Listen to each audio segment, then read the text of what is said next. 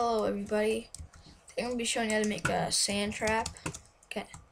So you're going to want to start off by placing a sand block right there. Well, anywhere's actually. And then put torches on each side like that. And just place sand on top of that. Like that. And just keep doing that until you like make something big. Now, I'm not very sure how you can trigger this with redstone, but I'm sure someone can find out. Well, I'm sure I can find out too, but I'm not gonna do it. Eh, you, I'll leave that to you, up to you guys. Okay, so just keep going. I'm just gonna do one more layer. Okay. Um. Now this like when you get to the like bigger pieces does it does take a lot more torches.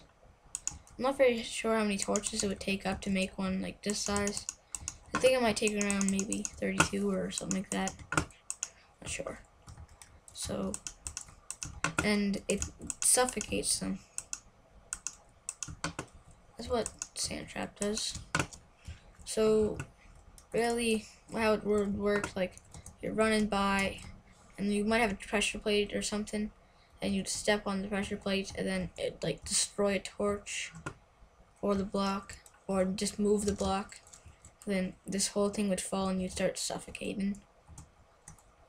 But I'm not very I'm not gonna make that I might make another tutorial on how to do that but so to activate it all you gotta do is just I'll stand right here so it still follows me. All I gotta do is just break this block right here then boom, whole thing falls. Oh, place a torch. It's a little dark.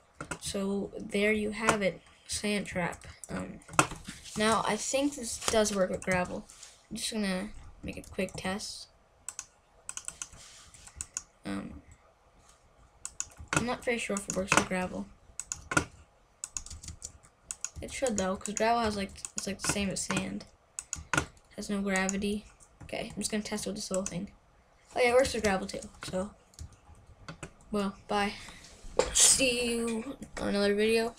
Please like, rate, comment, and subscribe. See ya.